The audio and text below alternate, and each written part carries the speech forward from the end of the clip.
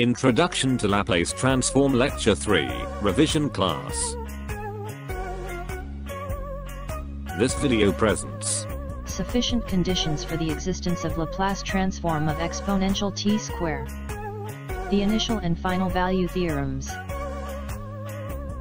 Tutorial Question 1. State and proof the sufficient conditions for existence of Laplace transform of f of t equals exponential t square. We shall present the statement. Firstly, the function f of t equals exponential t square is sectionally continuous in every finite interval strictly between 0 and a positive number n. Secondly, looking at the function f of t, it is worth remarking that it is not of exponential order 40 greater than n.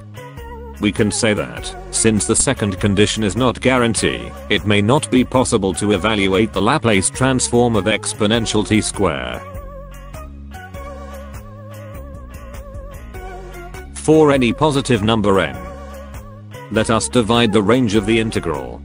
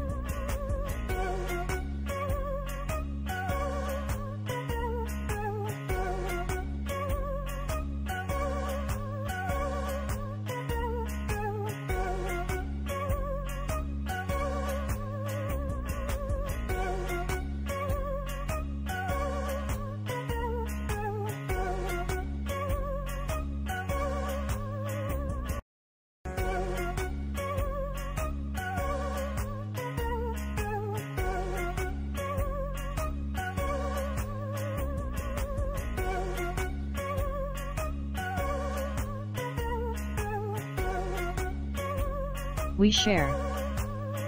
Tutorial questions and answers. It is all about understanding facts and sharing with others.